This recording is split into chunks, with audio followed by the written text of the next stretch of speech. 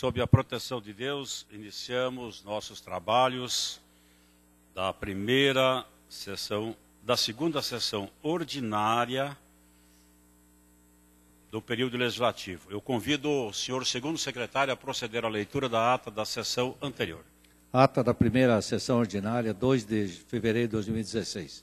Aos dois dias do mês de fevereiro de 2016, no plenário do Centro Legislativo, presidente Aníbal Cury, a hora regimental, a senhora mestre de cerimônia deu início à sessão de instalação do período de sessões ordinárias da segunda sessão legislativa da 18ª legislatura, convidando para compor a mesa os senhores deputado Ademar Traiano, presidente da Assembleia Legislativa do Estado do Paraná, Cida Borghetti, vice-governadora do Estado do Paraná, representando o governador do Estado do Paraná, excelentíssimo senhor Beto Rich, Luiz Malucelli Neto, assessor especial do governo, do governador e do ex-deputado estadual representando o chefe da Casa Civil, o senhor Eduardo Ciar, e deputados Plauto Meló, primeiro secretário da Assembleia Legislativa, Ademir Vieira, segundo secretário, composta a mesa, o senhor presidente, deputado Ademar Traiano, sob a proteção de Deus, declarou aberta a sessão de instalação no período de sessões ordinárias da segunda sessão legislativa da 18ª legislatura, convidando o senhor segundo secretário a proceder à leitura dos documentos protocolados que compunham o expediente do dia. Encerrada a leitura dos documentos, o senhor presidente desejou as boas-vindas aos deputados estaduais, aos servidores da Assembleia Legislativa, aos visitantes e concedeu a palavra à excelentíssima vice-governador do Estado do Paraná, senhora Cida Borghetti, que, representando o senhor governador do Estado e atendendo o dispositivo constitucional, procedeu à leitura da mensagem plano de governo da Assembleia Legislativa do Estado do Paraná. Concluído o pronunciamento, o senhor presidente agradeceu a presença das autoridades informou os senhores deputados que no dia 25 de fevereiro o senhor secretário de Estado da Fazenda, em audiência pública, apresentará os dados relativos ao cumprimento das metas fiscais do terceiro quadrimestre de 2015. E nada mais havendo tratado, declarou encerrada a sessão, marcando outra para quarta-feira, dia 3 de fevereiro, hora regimental. Levanta-se a sessão. Assim se lavrou a ata, que será regularmente assinada pelo senhor presidente e pelo primeiro e segundo secretários, da sessão em que for lida e aprovada. sessão encerrada às 15 horas e 44 minutos, registrada a presença de 45 parlamentares. Enquanto se também nessa secretaria para aprovação as atas das sessões solenes, de entrega do Prêmio Gestor Público do Estado do Paraná, terceira edição, realizada no dia 24 de 11 de 2015, comemorativo aos 20 anos do programa de pós-graduação em tecnologia PCGTE e aos 10 anos de transformação do Cefet Paraná em UTFPR, realizado no dia 25 de 11 de 2015, em homenagem aos 40 anos da turma da NPOR, Núcleo de Preparação de Oficiais da Reserva de 1975, realizada no dia 26 de 11 de 2015. Era isso, senhor presidente. Em discussão, a presente ata. Encerrada a discussão, ata aprovada. Consulto primeiro, secretário, se é expediente a ser lido. Sim, senhor presidente, ofício número 78 de 2016 do Ministério da Saúde, encaminhando resposta a requerimento de autoria do deputado Neile Prevô, ofício número 253 de 2016 da Casa Civil, encaminhando resposta a requerimento de autoria do deputado Romanelli, ofício 261 de 2016 da Casa Civil, encaminhando resposta a requerimento de autoria do deputado Márcio Pacheco, ofícios número 262, 277, 287 de 2016 da Casa Civil, encaminhando resposta a requerimento de autoria do deputado Cláudio Palozzi. Ofício número 276 de 2016 da Casa Civil, encaminhando resposta a requerimento de autoria do deputado Cláudio Palozzi. Ofício 276 da Casa Civil, encaminhando resposta ao requerimento do professor Lemos. Ofício 305 de 2016 da Casa Civil, encaminhando informações referentes às licitações promovidas em dezembro de 2015 no âmbito da Companhia Paranaense de Energia. Ofício número 66 de 2016 da Agência Nacional de Águas, comunicando celebração do primeiro termo aditivo do convênio celebrado com a Secretaria de Estado do Meio Ambiente. Ofício número 2 de 2006 da Eco Cataratas, encaminhando resposta a requerimento de autoria do deputado Paranhos. Ofício número 371 de 2015 da COPEL, encaminhando resposta a requerimento de autoria do deputado Cláudio Palozzi. Ofício número 1 de 2016 do Ministério da Educação, encaminhando resposta a requerimento de autoria do deputado Márcio Nunes, pastor Edson Pradzik, Felipe Francischini, Cláudia Pereira e cantora Mara Lima. Ofício número 262 de 2015 da Secretaria de Infraestrutura e Logística, encaminhando resposta a requerimento de autoria da deputada Maria Vitória. Ofício número 445, 448 e 486 de 2015 da Secretaria do Esporte e do Turismo, encaminhando resposta a requerimento de autoria do deputado Cláudio Palozzi. Ofício número 37 da Secretaria de Estado da Justiça, Cidadania e Direitos Humanos, encaminhando resposta a requerimento de autoria do deputado Márcio, Nunes, Márcio Pacheco.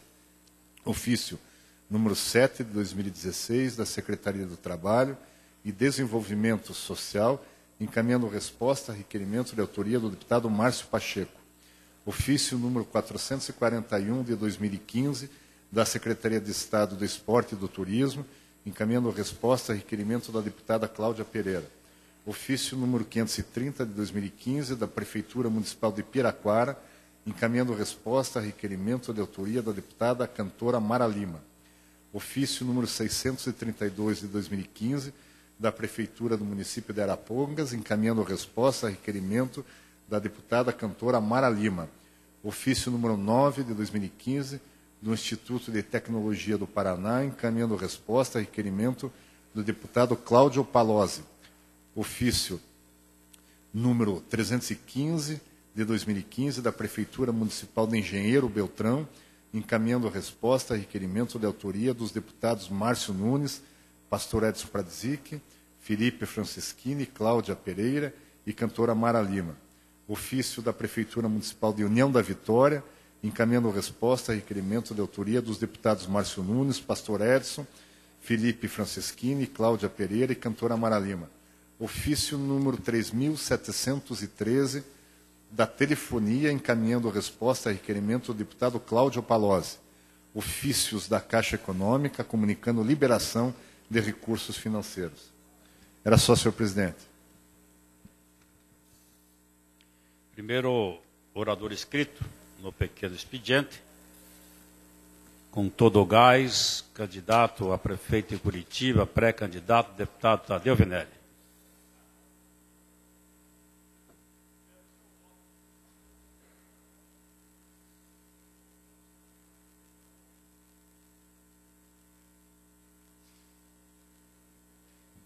Senhor presidente, senhores deputados, senhoras deputadas, cumprimentar aqui todos os senhores e senhoras deputados, os funcionários nesse retorno, e que eu espero seja este ano pouco mais tranquilo do que o ano primeiro desta legislatura, professor Tercílio, embora nós tenhamos alguns sinais claros que a política tem uma dinâmica que nem sempre é aquela que nós ou as pessoas que fazem política naturalmente prevê.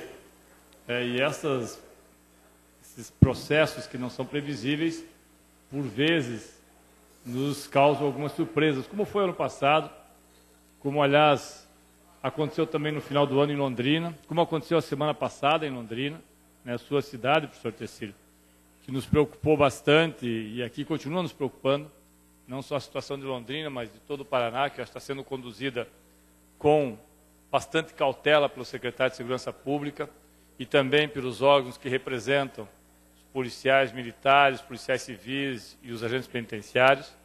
Mas é uma situação preocupante que acontece no Paraná. Hoje mesmo, nós tivemos uma informação, e talvez o deputado Lemos também tenha, o senhor presidente também já tem essa informação, que houve uma tentativa de assalto e atentado a um coronel aqui em Curitiba, no Cajuru que está fora de perigo, mas levou dois tiros. É um tiro no braço e um tiro no abdômen.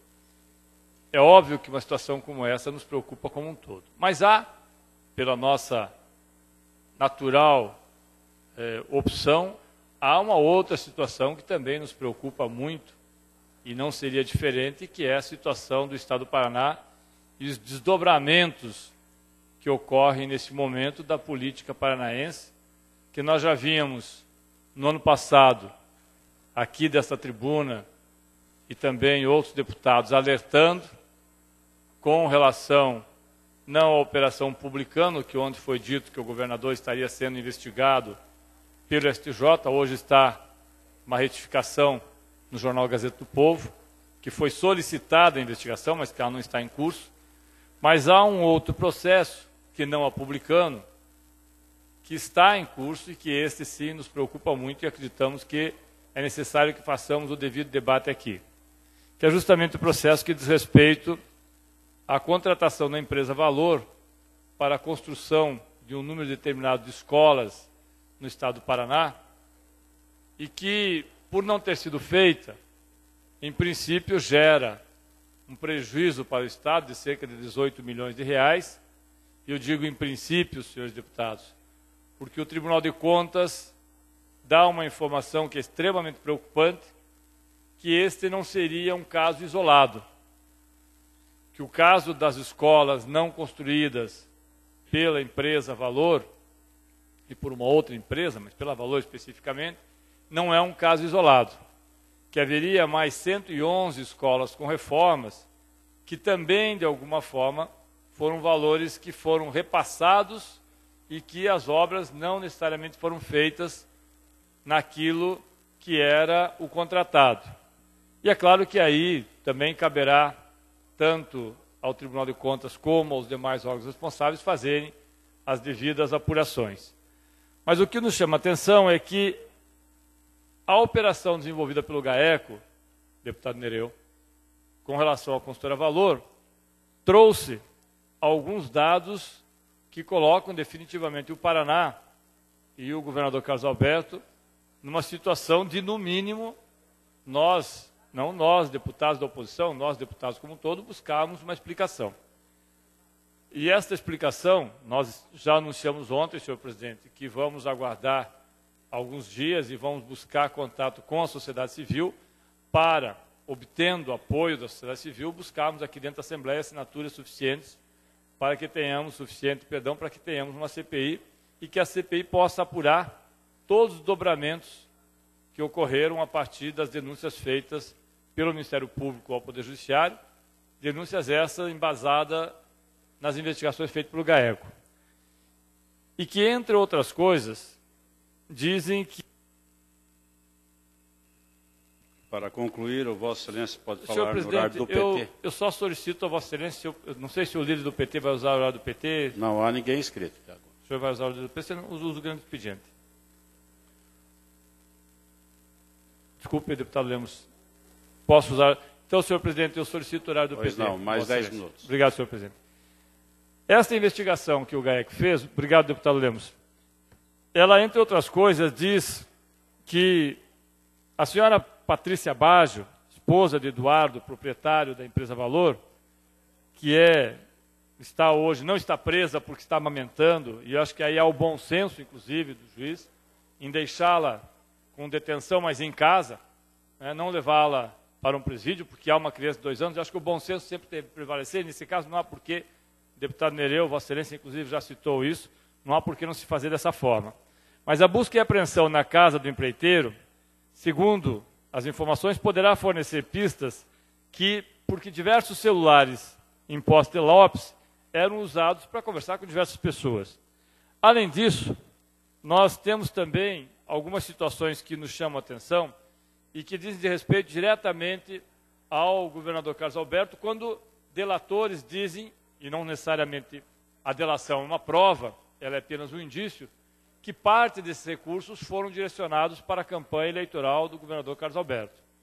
É certo que ela cita deputados, é certo que ela cita conselheiro do tribunal, mas é certo também que ela cita que estes recursos foram destinados também para a campanha do governador. E eu chamo a atenção porque essa não é a primeira vez que alguém que está sendo investigado pelo GAECO diz que recursos oriundos de forma não lícita, foram destinados à campanha do governador Carlos Alberto. Além disso, causa embaraço também ao governador, certamente, não sei se é verdade ou não, mas a informação que teria o governador recebido um relógio da marca Rolex, que seria presenteado pelo senhor Maurício Fanini, ex-diretor da Secretaria de Educação, e que este mesmo Fanini que assinou os contratos com a costura Valor, do senhor Lopes, possuía uma coleção desses relógios e, entre outras coisas, fez presente ao governador. Ora, tudo isso poderia ser apenas mais uma informação. Não fosse o detalhe que nós temos, junto com os recursos da empresa Valor, que foram recebidos e não foram aplicados, também recursos do governo federal, oriundos do governo federal, destinados para a construção de escola.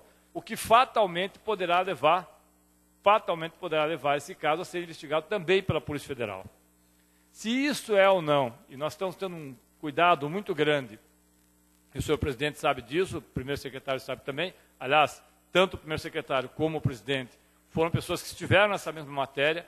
Eu sempre tenho dito, senhor presidente, que o fato de nós termos uma pessoa denunciando não significa que isso é uma prova. Obviamente, eu estou me reportando da mesma forma que fiz quando era presidente aqui o deputado Nelson Justo e o deputado eh, Alexandre Cury. Nós temos que tomar todos os cuidados possíveis, e obviamente esses cuidados estão sendo tomados, e uma denúncia não é prova. Falo isso também com relação ao Lava Jato, sempre falei isso. Nós aqui, quando o deputado Plauto ofereceu o título de cidadão honorário ao juiz Sérgio Moro, nós assinamos junto, que sempre dissemos que denúncia não é prova. A prova vem na sequência, se ela existir. Se ela não existir, aí fica a coisa é, como se não houvesse, obviamente não houvesse existido. Mas no caso específico, que nós temos o governador envolvido, que nós já tínhamos o governador numa outra operação, que nós temos o governador dizendo que tudo isso está sendo feito para tirar o foco das questões da presidente Dilma, que eu não sei exatamente se ele se refere ao impeachment ou ao Supremo Tribunal Eleitoral, Superior Tribunal Eleitoral, que eu acho que é muito frágil o argumento do governador.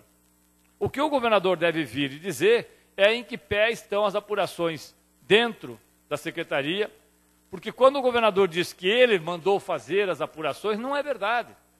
Na realidade, o governador afastou o secretário de Educação, com a alegação que havia acontecido todo o problema aqui na praça eh, Nossa Senhora Salete, e por conta disso também o secretário foi afastado. Afastou a pessoa que fez originalmente a denúncia, que era o senhor Sunier, e que depois, posteriormente, foi comprovado, inclusive pelo GAECO, que o senhor Sunier não tinha absolutamente nada a ver com a história, ao contrário, ele havia sido a pessoa que levantou o problema, mas que foi afastado. Então, o governador, a impressão que dá é que hoje tenta mudar o curso da história de uma forma que ele fique mais favorável.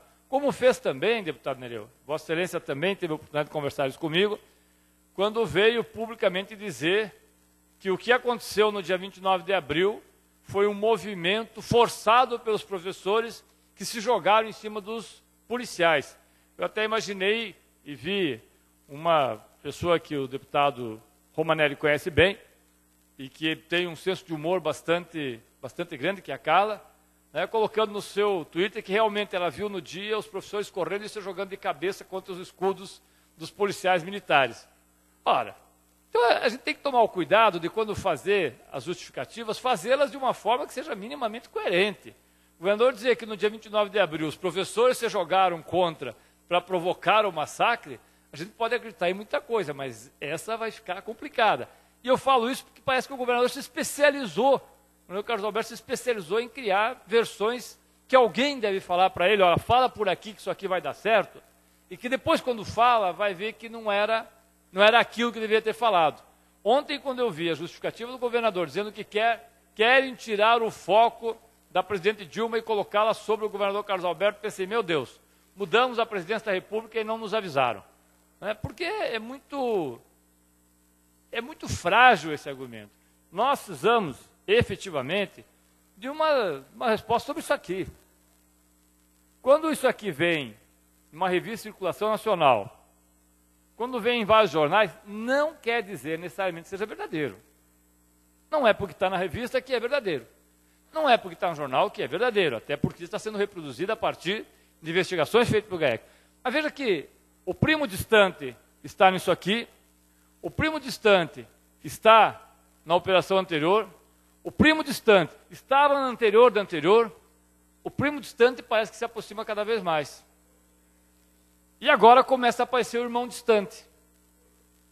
Daqui a pouco a família toda distante. Eu fico preocupado com o governador e com o seu isolamento familiar. Talvez o próximo ano novo tenha que passar muito sozinho. Apesar que agora, como avô, como eu também sou, ele e a Fernanda Richa, que também é avó, tem os dois netos, me parece que são dois netos, para poder comemorar. Né? Então não estará tão sozinho assim. Mas os primos são distantes, os irmãos são distantes, os amigos são distantes. E o problema está cada vez mais próximo. Eu acho que essas explicações nós vamos aguardar. Hoje, como disse aqui o presidente da Assembleia, com o gás todo, não tanto, senhor presidente, mas suficiente para nós fazermos um bom debate, eu acho que nós vamos aguardar. E aguardar uma resposta, uma explicação que seja coerente. Que seja coerente. Nós não vamos tratar, e não podemos tratar temas como esse, como se fossem secundários. Não vamos espetacularizá-los também, porque não se trata disso. Mas trata, sim, de buscarmos aqui na Assembleia Legislativa uma resposta para a sociedade. Todos os senhores deputados e as senhoras deputadas, tanto da oposição quanto do governo e aqueles que são do bloco independente, têm a legitimidade para fazer as cobranças que acharem necessárias. E nós, dentro disso, vamos fazê-las. Né? Nesse ano, nós estamos aqui no processo de rodízio que já acertamos ano passado, fazendo a substituição, o deputado Maurício já assume na próxima sessão como líder da oposição, mas nós todos, deputados da oposição e também do Bloco Independente, e eu espero que do governo, façamos essa cobrança. Afinal, por mais que a gente afaste essa cobrança, por mais que o primo fique cada vez mais distante, o Rolex vem cada vez mais perto. E esse pessoal judia, né, deputado Nereu? Porque esses amigos ingratos do tênis parece que esquecem que não podem fazer bobagem e acabam comprometendo o nosso pobre governador em situações que deixam muito constrangedora. Só que desculpas que isso tudo está acontecendo para, como eu ouvi muitas vezes, apenas desconstruir minha imagem, vai ficar difícil, porque essa imagem já está bastante desconstruída. E desconstruída por atos e ações que cada vez mais se mostram reveladores, preocupantes, e muitos deles, eu diria, com um fortíssimo indício de serem absolutamente verdadeiros. Obrigado, senhor presidente, senhores deputados, e um bom ano a todos nós. Com a palavra no horário do pequeno expediente, deputado Nereu Moura.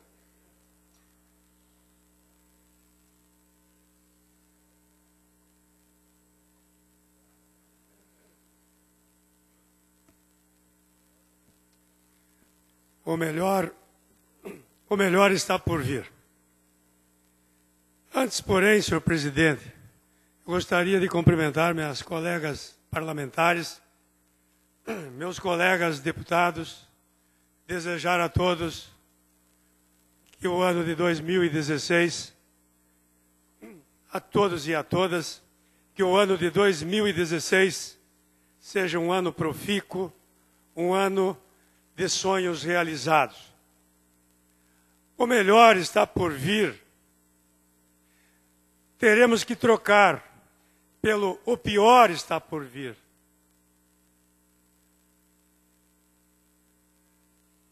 No final do ano passado, o governador Beto Richa e a sua turma deram gritos, urraram, gravou inclusive a sua excelência um vídeo junto com a sua esposa fez propaganda do PSDB na televisão, informando a boa nova. O melhor, agora sim, está por vir. Quando eu falei lá, em 2014, que o melhor estava por vir, foi uma falha, porque é agora que ele vai começar a vir o melhor. os rios não iam mais, nos rios não iam mais correr água, seria leite. Os barrancos não seriam mais de terra, mas de cuscuz. Os peixes seriam os mais gostosos e saborosos e fartos nos rios. Porque o melhor, agora sim, o governador alardeava junto com a sua turma que o Paraná teria 3 bilhões e meio para investir no orçamento do Estado. de fato, todos nós ficamos felizes. Afinal de contas, não tem um deputado aqui nesta casa, ou uma deputada, que não queira o progresso desse Estado. Porém, no dia 3 de janeiro, o governador de fato do Paraná, que está instalado lá na Avenida Vicente Machado, um homem que veio da Bahia, baixou esta resolução determinando, dizendo que tudo aquilo que havia sido falado era mentira.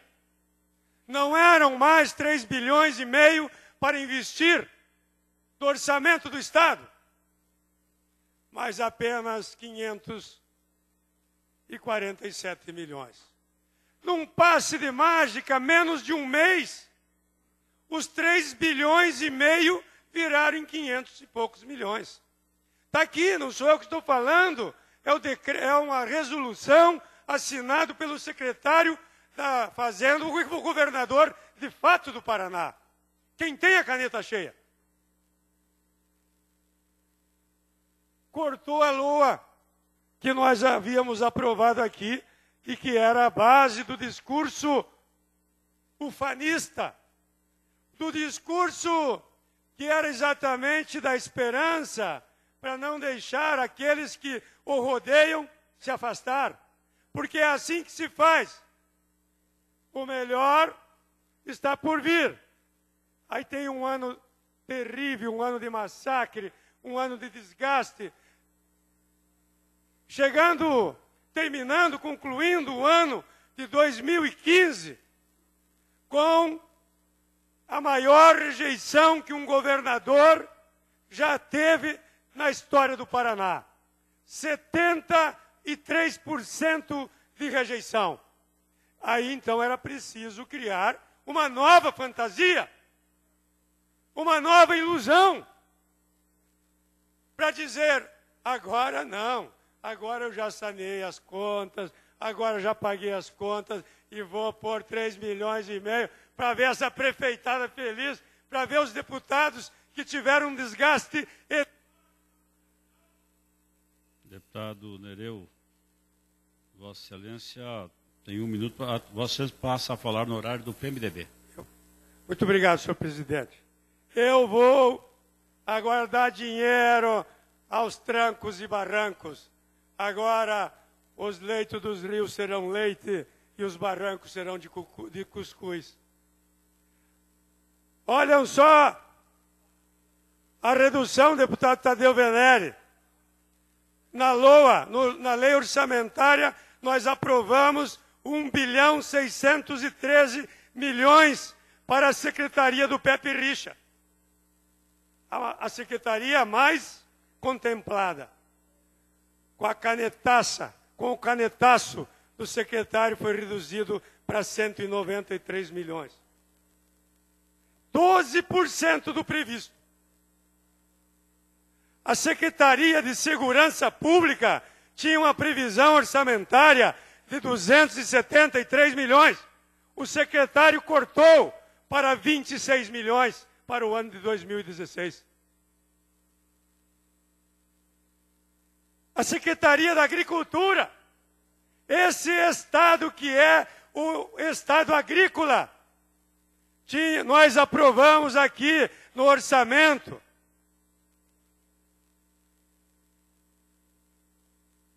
trezentos, aliás, 113 milhões, virou pó apenas 46 milhões para 2016. Portanto, não é o melhor está por vir, é o pior está por vir. Porque se o governo for pagar só o convênio de pedras irregulares que deve aos municípios, irão mais de 300 milhões de reais, praticamente toda a previsão de investimento para o ano de 2016 é o Paraná da fantasia, do discurso fácil. É o Paraná da ilusão, de um governador que quer se manter às custas da falácia, da mentira, tentando enganar as pessoas, tentando trazer as pessoas ao seu redor com falsas promessas. E as promessas dele são desmentidas, não é pelo deputado Nereu Moura, não é pelo deputado Tadeu Venere, é pelo seu próprio secretário da Fazenda, que no dia 3 de janeiro fez esta resolução, autorizando os investimentos nas diversas secretarias. Senhor presidente, senhoras deputadas, senhores deputados, infelizmente, o quadro que vivemos é de infecção generalizada. Não há antibiótico que possa curar este governo.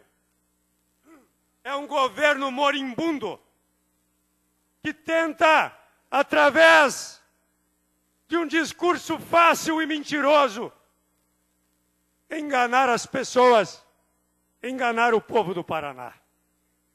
Felizmente, a mentira tem pernas curtas.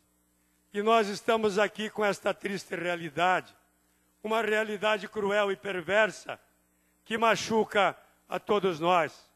É evidente que nós, ontem ainda, o secretário da Fazenda, governador de fato, Mauro Ricardo da Rocha. Mauro Ricardo, Maurinho Malvadeza,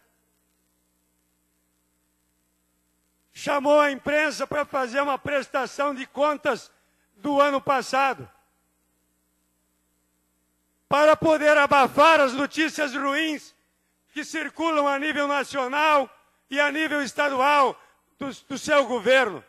E ele disse: o Paraná teve no ano passado 1 bilhão e 900 milhões de superávit orçamentário. Porém, do 1 bilhão e 900 milhões do superávit, 1 bilhão e 500 milhões foi o dinheiro retirado da aposentadoria dos professores e dos funcionários públicos do estado do Paraná. Sem falar no tarifaço que foi aprovado aqui nesta casa no final do ano de 2014, aumentando o IPVA, o ICMS, aumentando os tributos do estado do Paraná, numa verdadeira facada nos interesses do povo do nosso estado. Sem falar neste aumento vertiginoso dos impostos.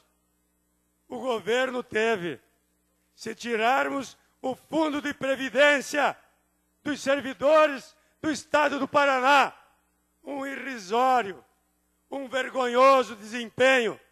Isso levando-se em conta que o estado de, do Paraná, em 2015, ficou totalmente parado inerte, não fez nada, as obras paradas, absolutamente nada.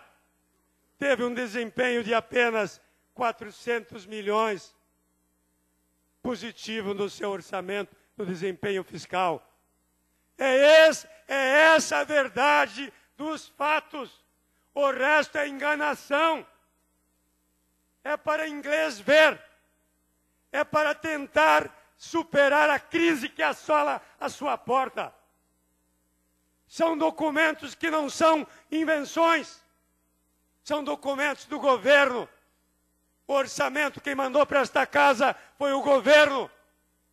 Quem elaborou a LOA, a LDO, foi o governo. Quem mentiu que iria investir quase 7 bilhões foi o governo.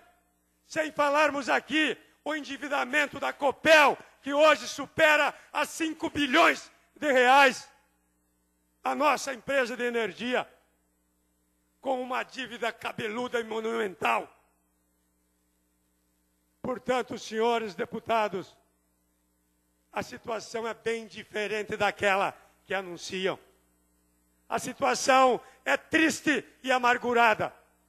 Aí o secretário diz: não, eu autorizei esses investimentos, porque eu quero ver o desempenho do Estado. Em que país o secretário está morando? Não é no Brasil? O Brasil está em crise. Daí o anúncio de que teremos 3% de decréscimo em relação ao PIB.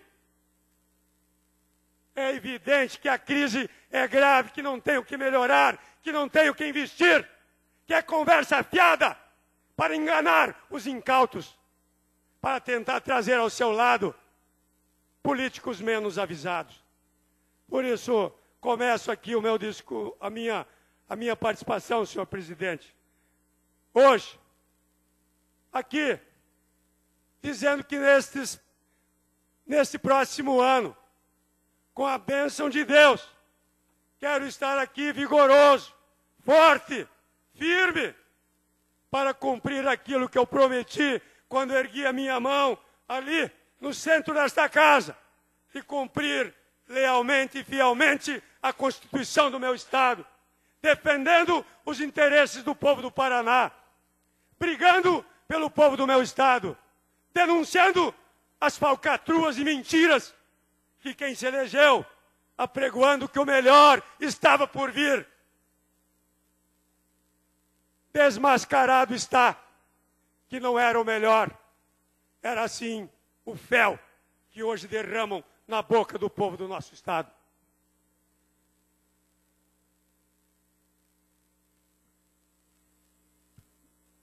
Essa presidência tem a satisfação de registrar aqui na nossa casa nosso querido prefeito de Itaipulândia, Miguel. Seja bem-vindo. Com a palavra, no pequeno expediente, o deputado Cláudio Palocci.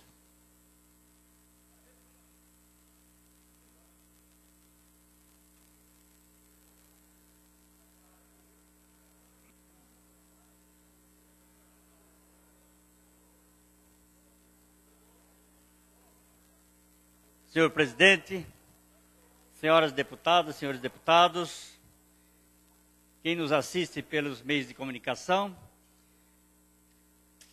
realmente uma expectativa muito grande espera na mente aí do povo do Paraná para o ano de 2016 e não é diferente para nós, deputados estaduais, em relação ao ano legislativo que ora se inicia. Eu tive eh, visitando, como os demais deputados com certeza também o fizeram, vários municípios do nosso estado durante esse período de recesso parlamentar. Muitas necessidades nos encontramos em relação às obrigações por parte do poder público, seja na esfera de caráter de esfera federal, estadual e também municipal. Mas a expectativa é que realmente esse ano seja diferente, e algumas situações que hoje desconfortam o povo do Paraná, principalmente no setor produtivo, sejam solucionadas. Principalmente ligado ao setor da agropecuária, do transporte, de saúde, de educação e segurança. Em relação à agropecuária, falo aqui sobre as dificuldades que passa os produtores, médios e pequenos produtores principalmente, em relação ao aumento de custo de produção. E agora reivindicam esses produtores a, a, isenção de energia elétrica para as suas, as suas produções, suas atividades agrícolas e pecuárias. Porque o custo aumentou bastante, principalmente em relação às faturas de energia elétrica consumida nas suas atividades primárias e também de transformação, porque hoje, já nas propriedades rurais, muitos, muitos produtores transformam matéria-prima em produtos acabados. Principalmente os produtores ligados à avicultura, à suinocultura e também os produtores de leite e irrigação, que viram é, aumentar os custos dos preços dos insumos agrícolas e outros custos também vieram de forma muito forte aumentar as suas dificuldades e principalmente o pequeno produtor consegue sobreviver, mas com muitas dificuldades. Eu trouxe aqui um pedido do Sindicato dos Trabalhadores Rurais da região de Marama, da micro-região de Marama, que pede ao governo do estado que seja que seja extinto, ou seja, modificado, alterado o decreto estadual 1600 eh, do governo do estado feito em junho do ano passado. E lógico que isso, se for feito uma modificação nesse decreto, ou pelo menos a extinção desse decreto com novos, com novo, com novo texto, poderá dar condições de fôlego para essas atividades agrícolas e pecuárias dos pequenos e médios produtores do estado do Paraná. E assim, nós vemos aqui que tanto a FETAEP, que é a Federação dos Trabalhadores da Agricultura do estado do Paraná, eu creio que as outras instituições, instituições ligadas ao setor, como também a FAEP, como a OCEPAR e outras frentes parlamentares daqui da nossa casa poderão abraçar essa ideia e ajudar com que os agricultores possam ter esse desejo de diminuição de custo na, no pagamento das faturas de energia elétrica. Gente, nós observamos que a ministra Cátia Abreu tem anunciado agora recentemente é, notícias para incentivar e motivar os, os exportadores da produção agropecuária brasileira, buscando fazer com que a balança comercial possa melhorar ainda mais, que é a salvadora da pátria nesse momento. Aliás, não só nesse momento, mas nos últimos anos. Vemos também que a Frente Parlamentar da Agropecuária na Câmara Federal tem se manifestado contra o aumento tributário para a classe produtora nacional da agropecuária. E nós, no estado do Paraná, também. Para concluir, um minuto. Concluindo, senhor presidente. Então, acho que é importante, nesse momento, nós, deputados estaduais, principalmente os que estão ligados diretamente ao setor agropecuário, do bloco agropecuário dessa Assembleia e as outras frentes parlamentares ligadas ao setor da agropecuária, podemos abraçar essa causa para atender o pedido dos agricultores, pedindo ao governador que faça a extinção desse decreto 1600 que aumentou ou que inseriu o ICMS na produção agropecuária, principalmente dos médios e pequenos produtores. Muito obrigado, senhor presidente. Com a palavra no pequeno expediente, ainda deputado professor Lemos, por cinco minutos.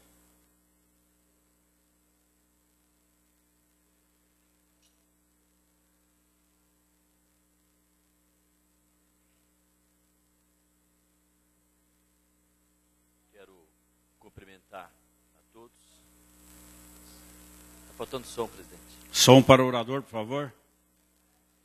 Quero cumprimentar senhor presidente, demais deputados que compõem a mesa, todos os deputados e deputadas aqui presentes nessa sessão, todos que nos acompanham aqui também, presentes na sessão, e a todos que acompanham pela TV, pelo rádio e pela internet. Quero aqui reforçar o que disse o deputado Tadeu Venere. É preciso instalar uma comissão parlamentar de inquérito para contribuir com a apuração da Operação Quadro Negro. Esta operação, ela está mostrando corrupção já da ordem de 18 milhões de reais contra a educação dinheiro retirado das escolas. Escolas que já deveriam estar concluídas e entregues às comunidades, como aqui em Campina Grande do Sul, como lá em Campo Largo, em diversas cidades do Paraná, as escolas não foram entregues, mas o dinheiro foi entregue à empreiteira, que embolsou o dinheiro e agora membros dessa empresa alegam que doaram esse dinheiro para campanhas eleitorais. Isso precisa ser apurado. Precisa ser apurado e a Assembleia Legislativa pode e deve contribuir para que esta apuração seja bem feita e o mais rápido possível, para identificar de fato quem está roubando o dinheiro da educação no estado do Paraná e quem não está. Porque quando é, aparece essas delações premiadas, tem verdade e tem mentira. Muitas vezes tem justiça também contra algumas autoridades. E é preciso passar limpo, precisa apurar. Quem deve tem que responder pelo crime cometido e fazer a devolução do dinheiro de modo corrigido para reparar este erro brutal contra a educação do Estado do Paraná. Então, nós já fizemos uma reunião na oposição e concluímos que temos que propor, junto com a sociedade civil organizada, junto com os demais deputados desta casa, esta CPI do quadro negro a favor da educação no Estado do Paraná. Quero também aqui é, destacar que o Estado fechou o ano com superávit de quase 2 bilhões de reais. Se fechou o ano com superávit, porque não convocou os professores aprovados no concurso de 2013, que segue trabalhando no Estado com contrato temporário. Como milhares de professores, mais de 20 mil professores com contrato temporário e aprovados no concurso público e que pode e deve ser chamado. O concurso público está com o seu tempo é, em contagem regressiva, o Estado tem condição, a educação precisa desses professores e eles estão com contrato precário, quando poderiam estarem nas escolas, no quadro de carreira, concursados. Do mesmo modo, nós encontramos agentes penitenciários aprovados no concurso de 2013 que ainda não foram chamados. E há contrato temporário lá para cuidar do sistema penitenciário que vai vencer, inclusive, em julho. E é preciso convocá-los para formação, porque tem um prazo para formar esses agentes penitenciários. Do contrário, vai chegar em julho, nós não podemos continuar com aqueles contratos temporários e não temos os agentes penitenciários concursados para tomar posse, porque não passaram pela escola de formação que é necessária. Também nós observamos. Um minuto para concluir. Deputado. Senhor presidente, tem promoções de carreira dos servidores da saúde, dos servidores da educação, dos professores promoção e progressão, que já o governo devia ter implementado no ano passado e não implementou. Para a Polícia Civil, para a Polícia Militar, para todos os servidores, tem promoção e progressão.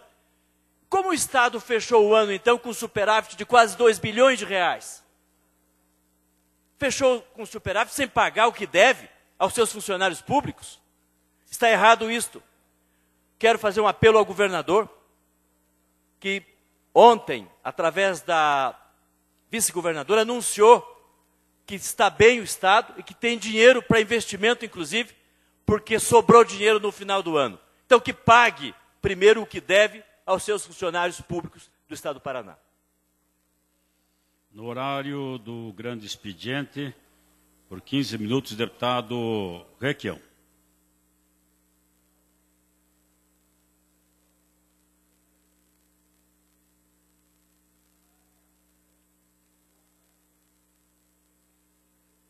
Senhor presidente, senhores deputados, é um prazer retornar a essa tribuna. É sempre um privilégio ter a tribuna para poder conversar com o nosso povo paranaense.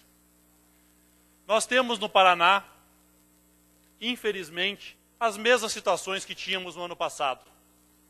Escândalos e mais escândalos de corrupção envolvendo a atual gestão é complicadíssimo, porque nós temos o que os, alguns criminalistas chamam de modo operante.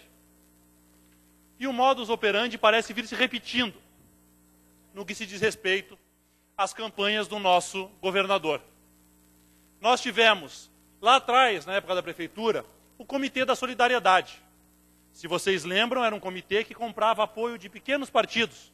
Saiu na Globo e foi aberto todo um procedimento que eu realmente não sei qual foi o fim, deputado. Mas foi aberta uma investigação por Caixa 2 em uma campanha de Carlos Alberto Richa. Temos, então, na sequência, o escândalo da Receita Federal. Estoura o escândalo da Receita Federal, o GAECO faz um ótimo trabalho e nós temos os delatores. E os delatores vêm nos contar que haveria, mais uma vez, Caixa 2, dinheiro da corrupção desviado para a campanha do senhor Carlos Alberto Richa. Mais um escândalo, a segunda coincidência. Vai que a primeira vez foi um engano, o cara que filmou, filmou errado. Duas vezes denunciado por Caixa 2. Não mais que de repente, temos o terceiro escândalo. E o terceiro escândalo envolve verbas de escola. E, para o GAECO, mais uma vez, de parabéns do GAECO, há indícios de que houve Caixa 2 na campanha de Carlos Alberto Richa para a reeleição do Estado.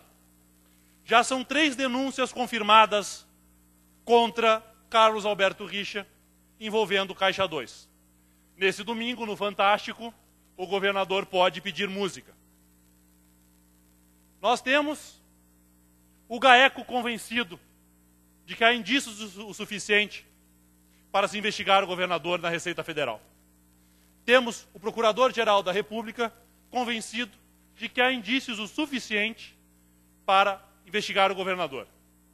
Nós temos, muito em breve, mais uma denúncia chegando ao STJ, que será a denúncia da Quadro Negro, onde, ao que tudo indica, o GAECO está convencido de que há indícios para investigar Carlos Alberto Richa por Caixa 2. E é complicado, porque são especulações de delatores. E as pessoas gostam de dizer que os delatores falam de tudo e dizem qualquer coisa. Mas uma vez pode ser um erro. Duas vezes, coincidência. Três vezes é muita fumaça para pouco fogo. E já diz o adágio popular: onde há fumaça, há fogo. Carlos Alberto Richa tem o dever de explicar para nós paranaenses e para nós deputados essas três denúncias. Me preocupo muito mais, deputado, com as duas últimas denúncias, que envolvem grandes esquemas de corrupção com dinheiro desviado da Receita Estadual e um outro esquema complexo. Um esquema daqueles de filme, deputado. Dá para escrever um roteiro hollywoodiano, hollywoodiano em cima desse último esquema da quadro negro. Esse esquema envolveria fiscais, empreiteiros, políticos, irmãos, primos, tios, avós. É uma coisa incrível. O dono da empreiteira está preso. A sua irmã, foragida. A sua mulher, em prisão domiciliar com um filho de quatro meses. Envolve pessoas ligadas diretamente à família do senhor governador passando bem perto de casa dessa vez. Complicado fazer a matemática e não dizer que é muita fumaça para pouco fogo. Nós temos a esperança que lá em Brasília, longe aqui das pressões locais, longe aqui do debate sobre orçamento deste ou daquele poder, essa investigação siga o seu rumo.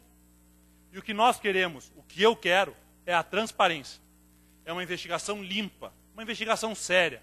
Quero que a verdade venha à tona. Queria muito acreditar que não, não se passa de mais um infortúnio, uma coincidência. Mas as delações trazem detalhes, detalhes sórdidos, de como e quando o dinheiro era sacado, de como e onde foi entregue, quem teria entregue esse dinheiro e para quem. São muitos detalhes para que seja apenas fantasia de uma mente imaginativa. O governador tem que explicar. Não adianta dizer que não sabe, que desconhece, que todas as suas doações foram feitas e declaradas ao Tribunal Eleitoral. Se assim fosse, o GAECO não estaria convencido por duas vezes de indícios de autoria de Caixa 2 do senhor governador Beto Richa em suas campanhas. E como eu disse, esquemas complexos. O governo tenta agora tirar da esfera de Brasília. Diz que vai devolver dinheiro para o FNDE para que a Operação Quadro Negro fique por aqui. Mas a malversação dos fundos do governo federal, do dinheiro que deveria ser para a educação das crianças do Paraná, já foi feita. Escolas foram pagas e não foram construídas. Não é dinheiro do cofre público, não é dinheiro do erário que tem que voltar para Brasília. É dinheiro de quem se lucupletou com essas transações. Não é esvaziando os cofres paranaenses do dinheiro do nosso contribuinte que o Beto irá conseguir fugir das investigações, tanto da FNDE como do Tribunal de Contas da União e do Ministério Público Federal. Tenho certeza que em breve a denúncia será recebida no STJ e teremos mais uma infeliz marca do governador Beto Richa. Primeiro, marcado na história por surrar professores em praça pública e roubar a previdência do Estado. Depois, marcado na história por ser o primeiro e único governador eleito do Paraná investigado por corrupção enquanto no seu mandato. Detentor da caneta.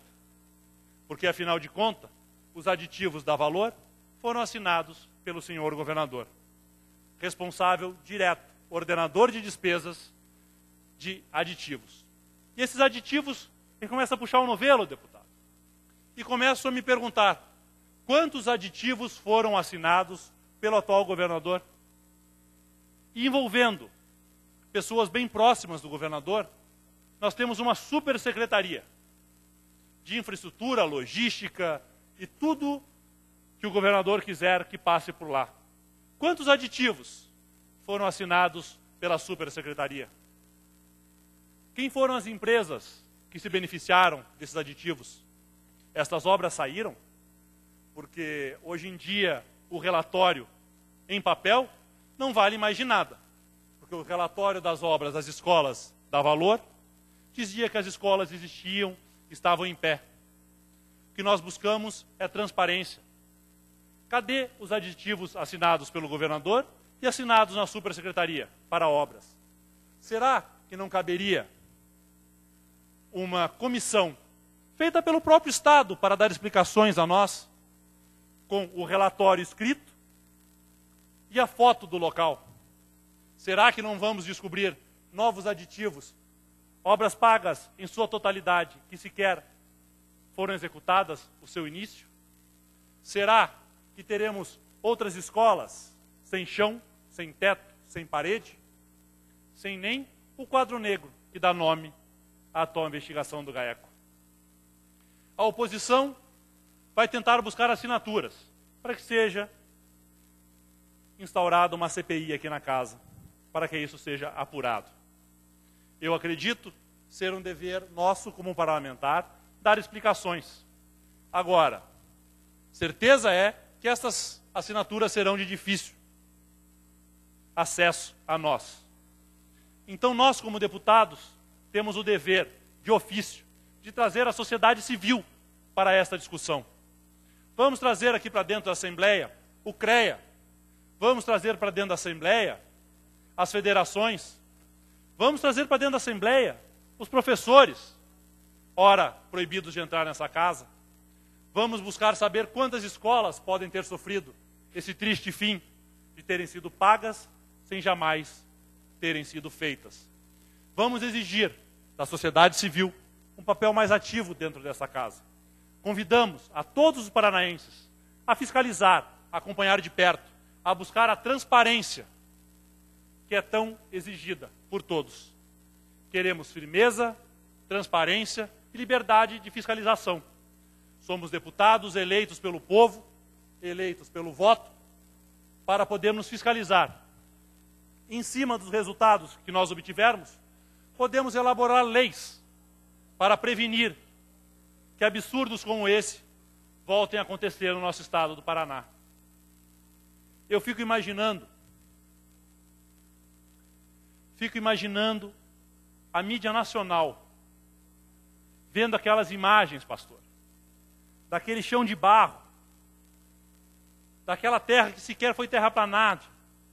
Não fizeram a terraplanagem, não acertaram, não fizeram a base da construção. E eles dizendo: esta escola, segundo os relatórios do Tribunal de Contas, da Secretaria de Educação e do senhor governador do estado do Paraná, estão 100% concluídas. Fico imaginando se eles também não se questionam. Seriam essas 30 escolas as únicas? Há outros aditivos que foram feitos com dispensa de licitação por um parecerzinho jurídico fajuto num projeto? Porque o governador diz que assinou apenas aquilo que o seu jurídico permitiu. Ora, governador, sei que o senhor não é dado a estudar, mas leia, preste atenção, tome cuidado, para não cometer equívocos assim, que podem manchar a biografia do seu pai. Nós temos que tomar mais cuidado com a coisa pública. Nós temos que ter firmeza ao enfrentar o vilipêndio, a enfrentar o roubo dos cofres do dinheiro do povo do Paraná. Não podemos deixar que isso corra solto. E fica o meu convite à sociedade civil. Venha para dentro da Assembleia, junto conosco, junto com a bancada da oposição e a bancada independente, que tão pouco aceita esses desmandos no Paraná. Venha discutir, venha investigar, venha cobrar transparência do governo, da Casa Civil, do Tribunal de Contas e venha cobrar de nós, deputados, aquilo que deveria ser lógico, que não é nada mais do que a nossa obrigação, que é a fiscalização transparente de um governo envolvido em tantos escândalos. Me dói o coração, de verdade, quando eu vejo o nosso Paraná, na mídia nacional, ser achincalhado pelo terceiro, quarto ou quinto processo envolvendo corrupção nos altos, altos escalões do governo do Estado. É ruim para nós como paranaenses, é ruim para nós como brasileiros, ver um Estado tão forte, tão empreendedor como o nosso, ver os seus recursos desviados para a Caixa 2 de campanha. Espero que o GAECO faça o seu trabalho, pois aqui na casa o discurso é que a CPI é desnecessária, uma vez que o GAECO trabalha bem. Espero que os inocentes sejam inocentados e que os culpados apodreçam na cadeia, com pena máxima. A máxima permitida na nossa Constituição de 30 anos. Mas que fiquem lá, porque roubar a educação do Estado não tem perdão. Espero que o GAECO faça o seu trabalho, porque aqui é esta desculpa que temos quando pedimos assinaturas para a CPI. Já existe uma investigação do GAECO, uma investigação judicial. Então eu espero que o GAECO tenha todo o suporte do governo do Estado. Porque esse discurso contradiz o senhor governador, que diz que está sendo vítima de uma conspiração, que ele é perseguido por pessoas mal intencionadas. E eu imagino que o Eduardo Souza Lopes tenha, lá atrás, pensado: meu Deus do céu, como é que eu vou ferrar o Beto Richa depois da eleição? Vou começar um esquema de corrupção já para fazer um caixa 2 para estourar depois. Deve ter sido essa a intenção desse mal intencionado Eduardo Souza Lopes. Uma coisa incrível, de uma maldade absurda. Vamos esperar que a verdade venha à tona. Os inocentes sejam assim declarados e os culpados que apodreçam na cadeia. É isso que eu tinha para hoje, senhor presidente. É um prazer poder voltar a essa tribuna e conversar com os amigos. Para concluir. Poder conversar com os amigos de forma direta, clara e franca. Porque conversa franca faz bons amigos. E eu acho que aqui nenhum de nós está para defender o indefensável. No grande expediente, por 15 minutos, deputado Ussenbach.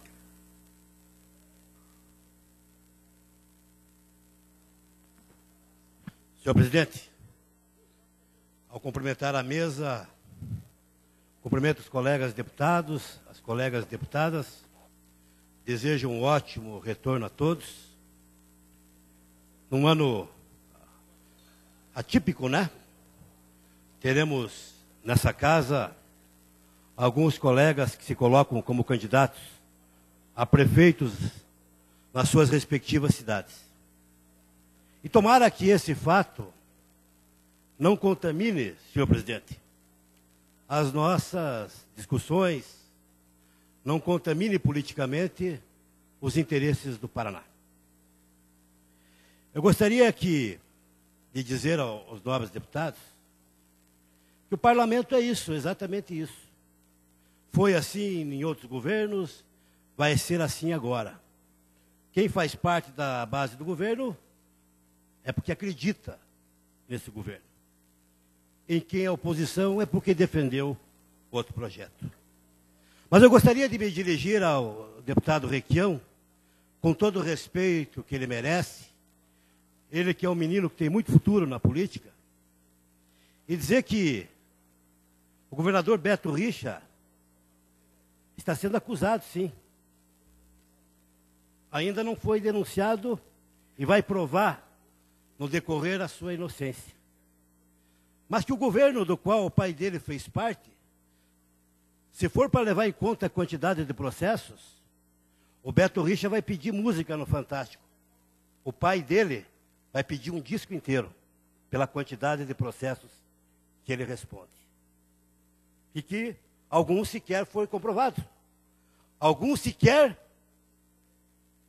ele foi condenado. Portanto, não é parâmetro para dizer que é devido.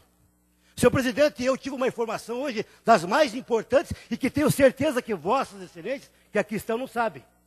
Tenho certeza, eu não sou arauto da verdade, mas eu busquei saber, já que sou presidente da Comissão da Educação. Eu busquei me informar a respeito de um fato que eu quero trazer a vossas excelências aqui agora.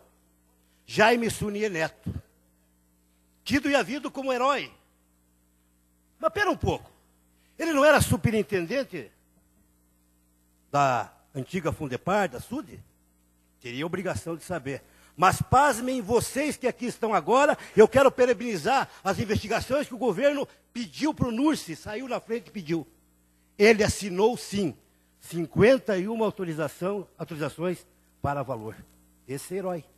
E eu vou trazer a vossas excelências amanhã cópia de todas as autorizações que Jaime Sunier Neto fez. Portanto, o governo está fazendo sim sua parte. O governo está investigando. E aquelas pessoas que devem serão sim cobradas, condenadas, e o governo levará a cabo toda essa investigação. Portanto, o governo não protege ninguém. Essa caixa não protege ninguém. as verdadeiras pessoas que roubaram o dinheiro da educação, isso é mais grave ainda, vão pagar por isso. Eu só queria trazer a Vossas Excelências essa informação que eu tenho certeza, muitos aqui não sabiam. Mas enquanto isso, nós vivemos nesse país o momento do triplex, né? Eu, eu me surpreende aqui que parece que alguns da oposição, que eu tenho muito respeito, vivem em outra realidade, em outro país. O maior ídolo deles, enxovalhado, aquela aura que ele vestia, acabou. Tem mais para onde ir. É triplex, é Guarujá, é barco, acabou. Acabou? Caixão e vela preta. Pode enterrar. E aí eles têm a coragem necessária de vir acusar o Estado. Sou sim da base de apoio do governo com muito orgulho. Estive com o governador Beto Richa em Brasília ontem, anteontem, aliás, e o governador saía de uma reunião com governadores onde muitos perguntavam: alguém vai dar aumento aqui? Não. Alguém vai dar aumento? Nenhum governador. Pois o governador Beto Richa disse assim: eu dei 10% em janeiro. Eu participei disso. Senhores da base participaram disso. Levamos tanta bordada aqui, mas tivemos a coragem de aprovar um ajuste fiscal que o governo federal não aprova porque não tem coragem política. E agora o governo federal e outros estados estão vendo o quanto era necessário aprovar ajuste. O Paraná é o estado de futuro? É sim. O melhor está por vir? Está sim. O Paraná tem, esse ano, 8 bilhões para investimentos. E quem viver, verá. Eu acredito no Paraná. Enquanto o governo federal tranca os investimentos para as estradas do Paraná, porque aqui não pode entrar dinheiro, investimentos autorizados para os estados. Enquanto nossos senadores não contribuem nada com o Paraná, qual o recurso que trouxeram? nós somos vítimas de um preconceito terrível. Somos vítimas de discriminação se não comparem os investimentos que são feitos pelo governo federal no Paraná e Santa Catarina. Não vamos longe. Então, gente, é preciso ter coerência. É preciso ter pé no chão. É preciso vestir a camisa do Estado. Nós somos deputados do Estado do Paraná. A nós não interessa que o Estado vá mal e o Estado não vá mal. Quero dizer a Vossas Excelências que eu vejo agora o governo federal falando em ajustes. O presidente Dilma quer implantar CPMF de volta. O presidente Dilma e seus estudiosos dizem que eu preciso fazer uma reforma da Previdência. Ora as bolas. Vejam só.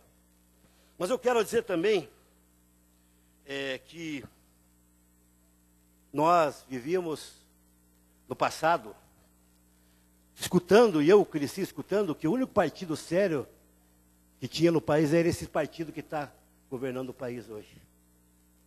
Essa é a grande realidade. Eu quero, senhor presidente, para finalizar, dizer que eu gostaria que o PMDB, que é um partido muito sério, que tem a vice-presidência, um partido que tem senador, um partido que tem líderes de bancada, se somasse ao, ao Paraná e nos ajudasse nessa árdua missão. Eu encerro aqui meu depoimento, senhor presidente, dizendo que eu acredito muito no Paraná. Fui vítima de chacotas em algum momento, como por exemplo, quando o governador anunciou a contratação de 2.200 policiais.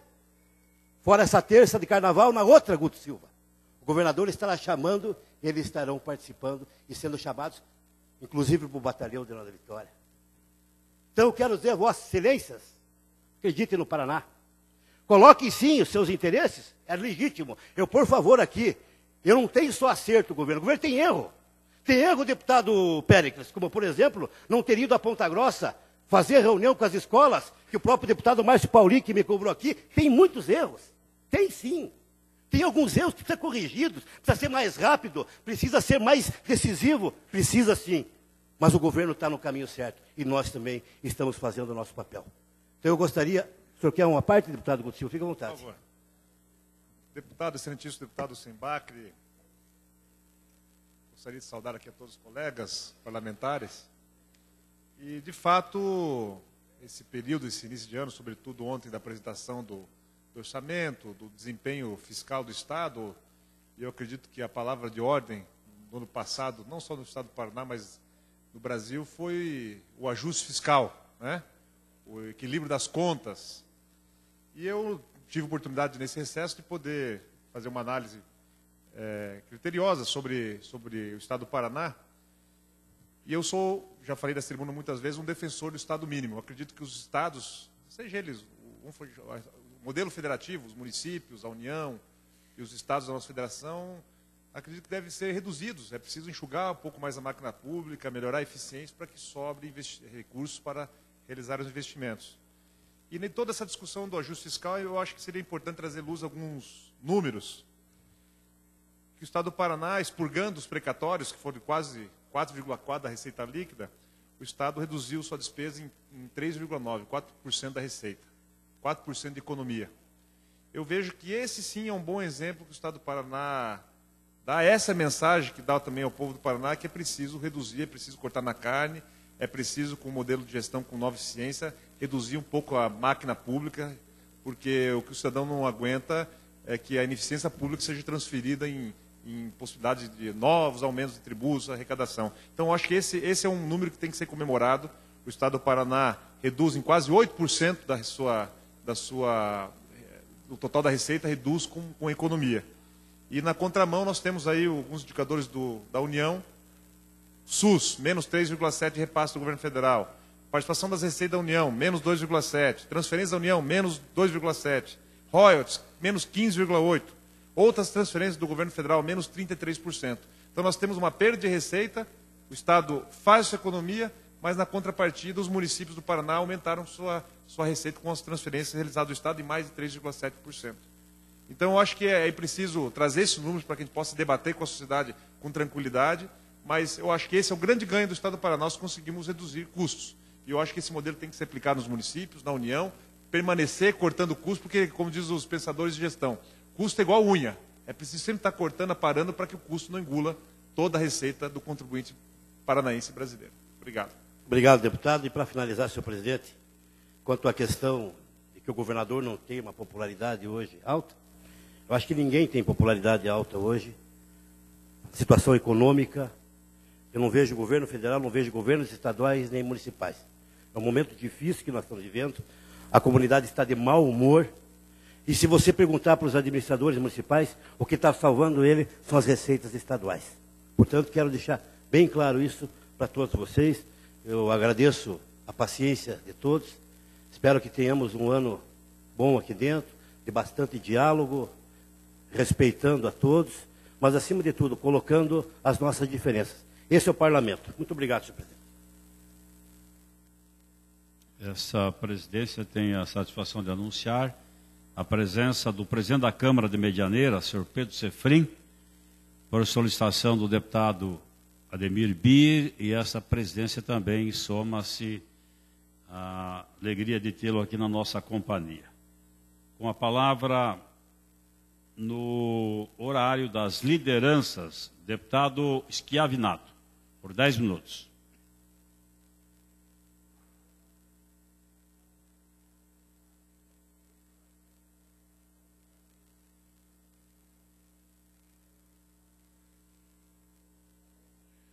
Senhor presidente, senhores deputados, senhoras deputadas, estamos iniciando mais um período aqui na Assembleia Legislativa do Estado do Paraná.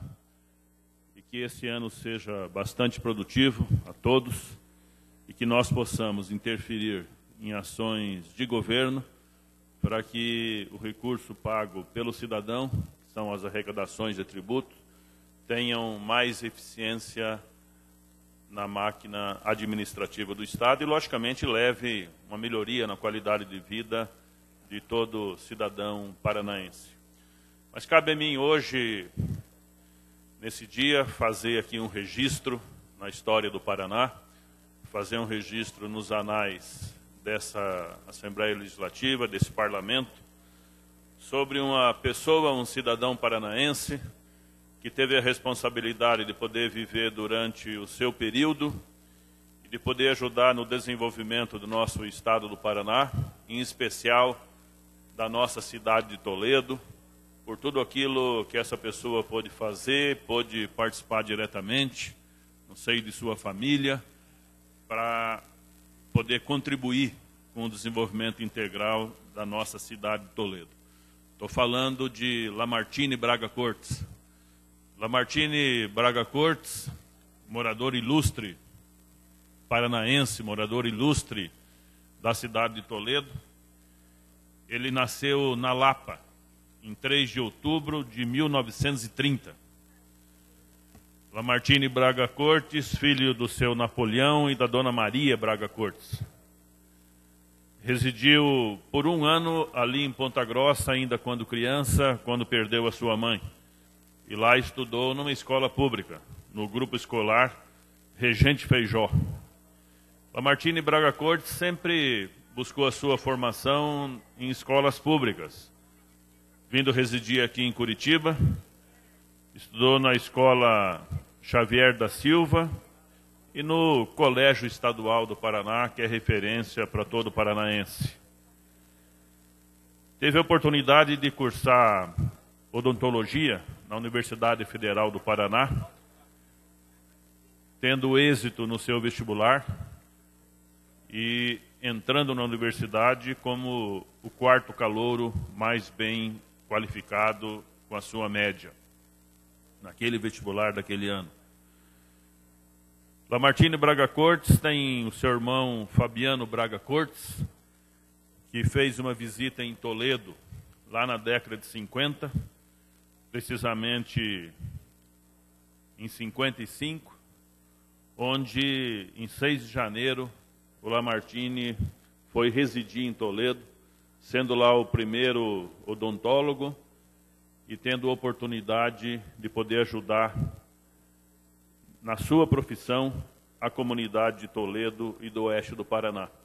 É fácil você imaginar um cidadão formado aqui na capital, largar o conforto da capital e se dirigir para o interior, onde ainda estavam sendo derrubadas as matas, se dirigir para o interior onde não existia estradas, para poder exercer, exercer lá a sua profissão, e levar consigo a sua esposa, a dona Irene, Irene Braga Cortes.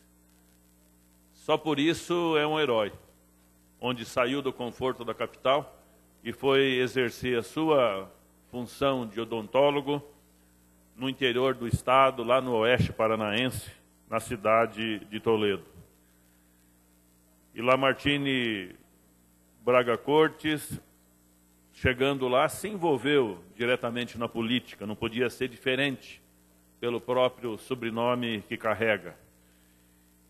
Impulsionado pela candidatura do seu primo, saudoso Ney Braga, ao governo do estado do Paraná, também teve a oportunidade, naquele momento, de ser candidato a prefeito de Toledo e não teve êxito. Faltaram a ele 22 votos para ser o prefeito de Toledo lá naquele período. Mas um amigo seu, concorrente mais amigo, Ernesto Dalogrio, assumiu a prefeitura naquele período. Lamartine Braga Cortes teve a oportunidade na sequência pela sua participação na sociedade toledana. Teve a oportunidade, junto com o saudoso doutor Wilson Carlos Kuhn, de poder ser vice-prefeito do município de Toledo.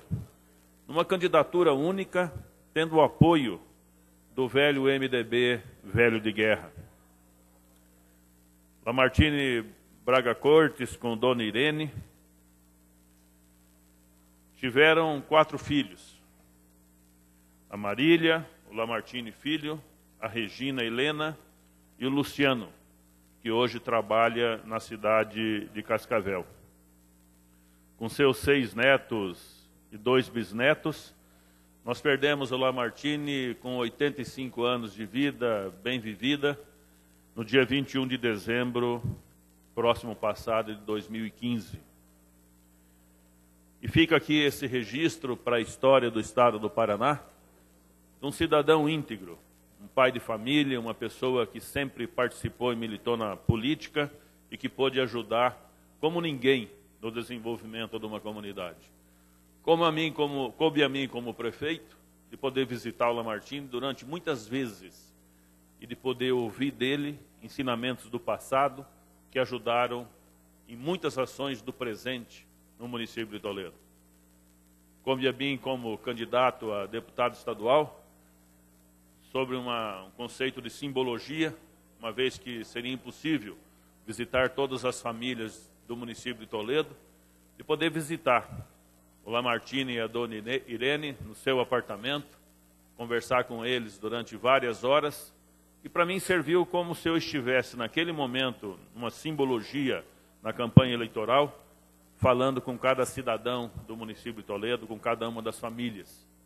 E coube a mim também como primeiro ato, no momento que eu recebi a informação de que tinha sido eleito deputado estadual pelo município de Toledo, também novamente me dirigi à casa do Lamartine e da Dona Irene, poder abraçá-los, agradecer pelos seus ensinamentos, como se eu estivesse abraçando cada uma das famílias lá do município de Toledo. Então eu faço hoje esse registro aqui na Assembleia Legislativa, da família Braga Cortes, família que, sem dúvida, auxiliou muito esse desenvolvimento do nosso estado do Paraná, tendo lá o Ney Braga como governador, vamos falar disso em outros momentos também, e tinha que registrar a passagem desse cidadão que, com certeza absoluta, uma importância fantástica no desenvolvimento de Toledo. Márcio Pacheco tem a palavra para suas considerações. Deputado Escavinato, quero cumprimentá-lo por essa lembrança e por essa honraria que Vossa Excelência presta por meio do discurso, essa figura fantástica de Toledo, que eu, infelizmente, não tive a oportunidade de conhecê-lo. Até pedi a seu filho, Dr. Luciano Braga Cortes, uma figura fantástica da cidade de Cascavel também, que a gente pudesse uma hora agendar uma visita a ele. Infelizmente, né, o, a, a, a vida dele acabou sendo ceifada antes dessa oportunidade. Mas a família Braga Cortes também em Cascavel exerce, desempenha um papel muito elogiável. A doutora Simone, que é a esposa do doutor Luciano, está à frente né, do, do Cascavel Rosa, que presta um trabalho fantástico também na prevenção ao câncer de mama da cidade de Cascavel. Então, a família toda realmente muito proativa, muito ativa para ajudar a sociedade cascavelense e também, naturalmente, de maneira especial, a comunidade de Toledo. Então, parabéns a Vossa Excelência e nossos pesos, nossos sentimentos por essa grande perda a toda a comunidade de Toledo e a família Braga Cortes.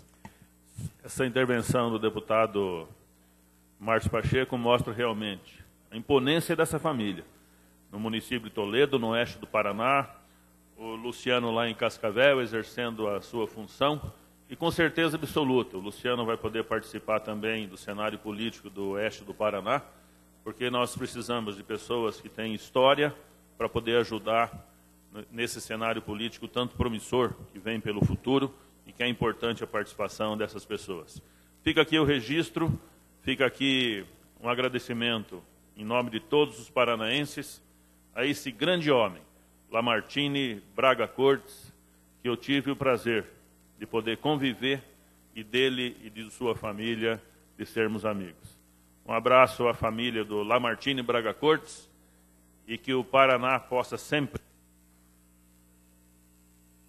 Para concluir, deputado. Que o Paraná possa sempre valorizar a presença e a história dessas pessoas que souberam viver e tiveram no seu tempo e na sua hora a oportunidade de fazer e o fizeram. Lamartine Braga Cortes, um grande paranaense. Com a palavra no horário das lideranças, ainda pelo bloco PRB, PSL, PV, PPL, Rasca Rodrigues. Declina, deputado Paulique.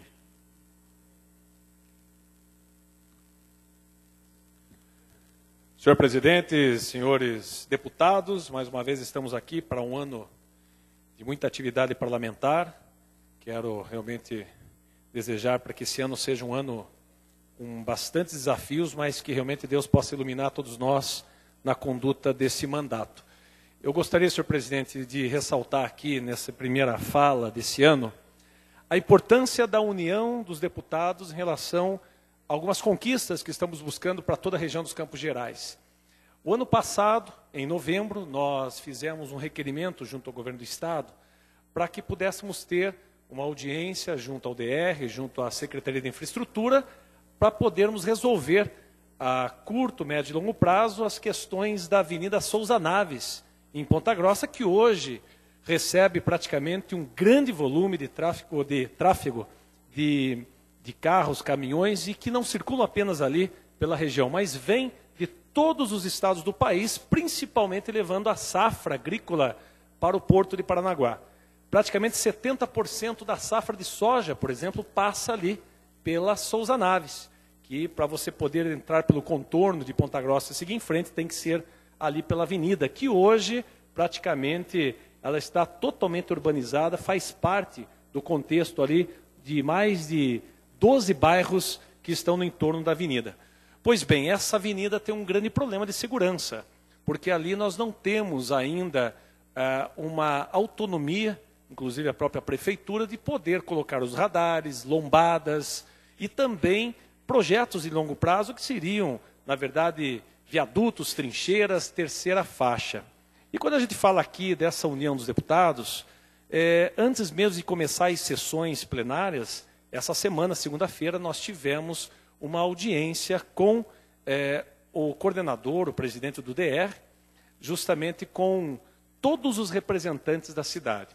Foi uma audiência marcada pelo deputado Plauto, estiveram lá eu, deputado Péricles, prefeito Marcelo Rangel, o deputado federal Aliel, também alguns vereadores, secretários, presidente da Câmara Mainardes, e todos nós com um só objetivo, tentar, junto com o governo do Estado, resolver de vez essa questão é, de tanta violência que nós estamos tendo ali é, na Souza Naves, com mortes ali de inúmeras, dezenas de pessoas que acabam se acidentando.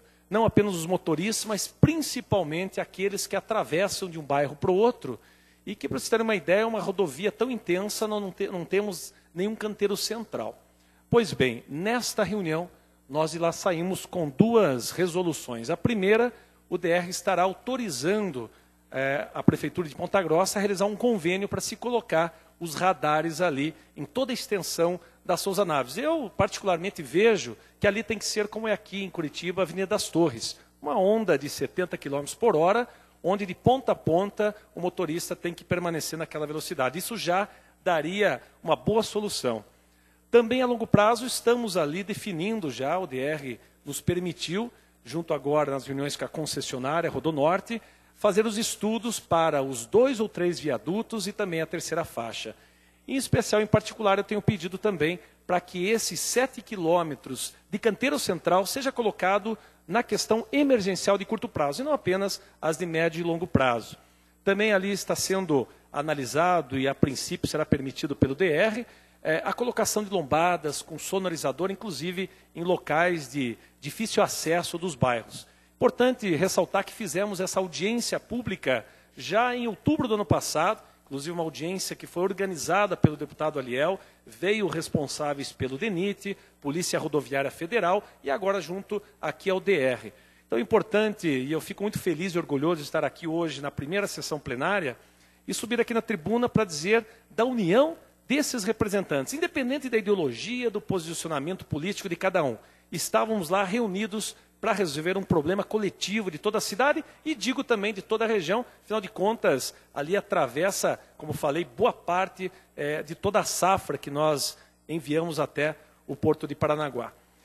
É, em relação a essa união, a esses pedidos coletivos, eu queria aqui fazer um pedido também, o nosso deputado, que é presidente aqui da Comissão de Educação, já comentou, Rosenbach, sobre essa audiência que também realizamos, se não me engano, em outubro, é, das necessidades sobre as obras de revitalização, de extensão, obras de importante cunho educacional, que é as escolas estaduais, não somente de Ponta Grossa, mas da região. Lá nós pudemos ouvir diretores de escolas, professores, inclusive alunos, entidades, o núcleo de educação, e eles estão aguardando uma resposta é, da Comissão de Educação.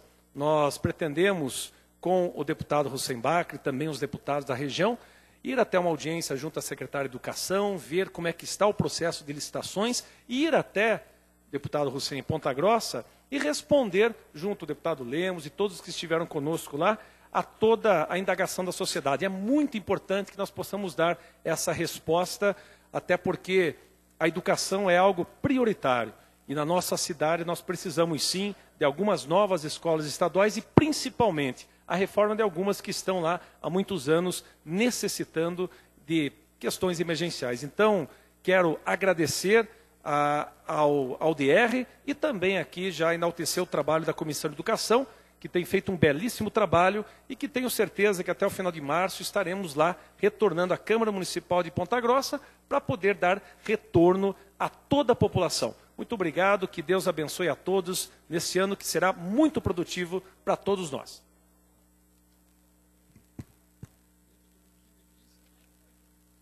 Liderança da oposição, abre mão.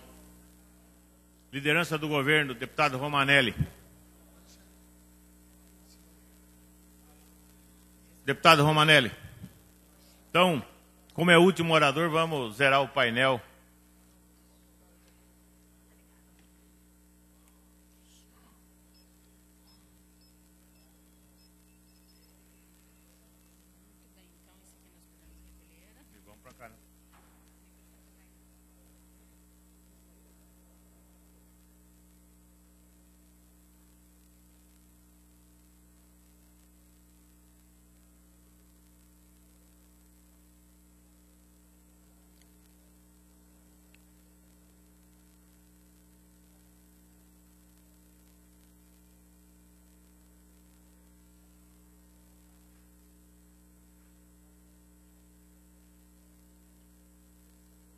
Senhor presidente, senhoras deputadas, senhores deputados, por primeiro, é claro, quero cumprimentar a, a todos, deputados e deputadas, servidores, jornalistas, enfim, todos, pelo reinício do, do trabalho no Legislativo com, com essa segunda sessão legislativa dessa nossa legislatura.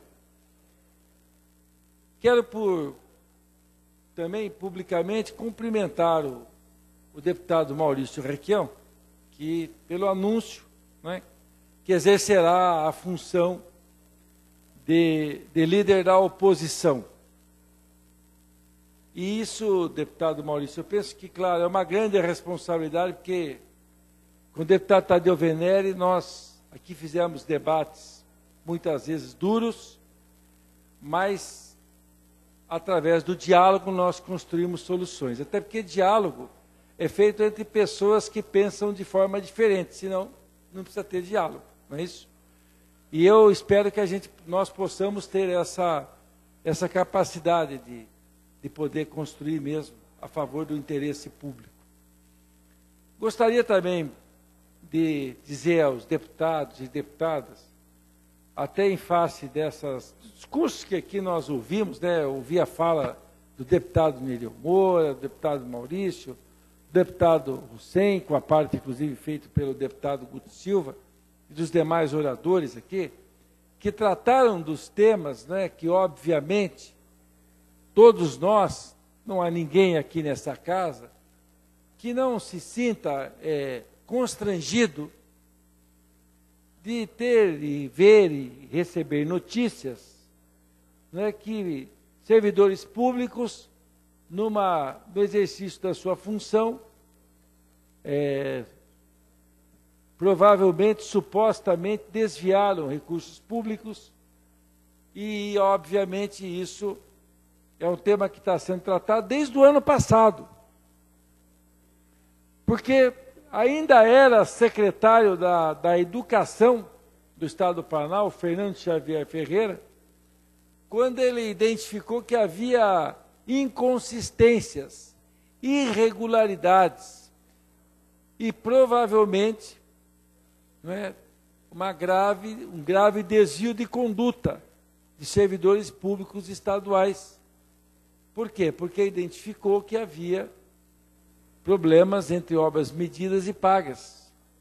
O que fez o secretário Fernando Xavier através do controle interno da Secretaria da Educação? Fez os levantamentos, concluiu e viu as irregularidades. E o governo através dos órgãos e canais competentes, tomou as providências adequadas. Fez, representou, fez uma denúncia à Polícia Civil, ao NURS, que é a polícia especializada para esse tipo de crime. A polícia tomou as providências, instaurou inquérito policial. Ao mesmo tempo, desde, desde logo e tão logo tomadas as informações primeiras, já pelo NURS, o governo tomou as providências. Ele afastou, demitiu e exonerou os servidores que supostamente poderiam ter algum envolvimento com o desvio de recursos. Não foi o, o GAECO que fez isso, quem fez isso foi o governo do Estado. A PGE também tomou medidas judiciais para poder fazer com que aqueles que supostamente desviaram recursos públicos pudessem fazer o ressarcimento. Foi ainda feita uma medida importante, que foi, obviamente, de, de poder tratar da idoneidade da, inidoneidade da, da construtora. E o governo prossegue nas investigações que estão sendo também realizadas pelo Ministério Público através do GAECO, ação judicial que já foi proposta na esfera da Vara da Fazenda Pública de Curitiba e outras medidas mais que foram tomadas. O governo não tem absolutamente nada a esconder sobre isso, quer a transparência de todo esse processo, confia como eu confio e eu quero dizer aqui publicamente que eu confio no GAECO, tenho certeza absoluta que o GAECO chegará à verdade real desses fatos. Por outro lado, o governador, eu quero aqui em nome dele, repudiar qualquer tipo de acusação ou de insinuação que pudesse ter havido um aproveitamento em caixa 2 de campanha de recursos ilícitos é, desse processo todo ou de qualquer outro. E, obviamente, não é, a, a nossa, nossa confiança em todas as pessoas que injustamente possam ter sido acusadas nessa, nessa questão. Agora, quem é culpado tem que ser punido. Não é possível que não seja. E, ao mesmo tempo, de restituir o dinheiro público que foi desviado. Agora, o governo agiu, tem agido e vai continuar agindo com rigor. Mas também não dá para poder querer imputar, é, por exemplo, ao governador, fatos que são rotineiros da administração pública. Aliás, eu concluí, conhecendo os procedimentos administrativos, deputado Rasque, eu vi, como via, vejo o governador Beto Richa, eu via o governador Requião com um carrinho enorme de processos toda semana, assinando. E aí, no estilo do Requião, às vezes pegava processo, rasgava, jogava o processo fora. Não, isso aqui, o que, que, é isso aqui? O Beto Richa muitas vezes faz, faz isso, mas agora, reconheçamos aqui. Decreto que submete aditivo acima de 500 mil reais para o governador assinar, como se o governador pudesse, depois do parecer do secretário da área, da Casa Civil, da assessoria técnica, do, do, dos conselhos que passa isso tudo. Dizer aquela assinatura formal do governador, reconheçamos aqui. E ainda condicionada a todos os pareceres anteriores, é completamente desnecessário isso. Até porque o governador, nem o Beto Rich, nem Requião, nenhum governador tem condições de fazer análise técnica de saber, ah, mas aqui, ó, será que essa medição aqui é testada lá pelo DG, pelo secretário, pelo diretor da área, pelo superintendente, é, pelo parecer jurídico, todo mundo dizendo está tudo ok. Pronto, assina. Deus do céu. É o modelo de gestão que nós temos, que ele é arcaico mesmo. O sistema é ruim. Além de partir do pressuposto que pessoas né, fraudaram documentos públicos. Então, eu quero dizer que esses temas são temas de objeto de investigação de quem entende de investigação, que é o GAECO. Eu, como disse, sempre entendo que o trabalho que está sendo realizado é um trabalho competente, e a justiça, obviamente, ela está aí para poder punir os culpados que desviaram recursos públicos, né? Por outro lado, eu quero dizer o seguinte: essa casa aqui tem uma agenda nós teremos assim, na minha, minha concepção, teremos três dimensões esse ano, deputado Tiago Amaral. A primeira é o processo legislativo regular, que é necessário, importante de prosseguirmos nele. O segundo é o debate sobre as políticas públicas que o Estado tem e que é fundamental que a Assembleia se debruce sobre esse aprofundamento desse debate, sobre a qualidade das nossas políticas que estamos desenvolvendo. E a terceira dimensão, que eu entendo que num ano como esse, que é um ano pré, que é eleitoral, e nós estamos num período pré-eleitoral, aqui nessa casa nós temos diversos deputados que são pré-candidatos a prefeito. Obviamente, a tribuna da Assembleia Legislativa servirá para que esses parlamentares vão falar sobre temas gerais, e muitas vezes sobre questões que estão vinculadas a um processo eleitoral que está em curso já. Ainda mais agora, deputado Tadeu Venere.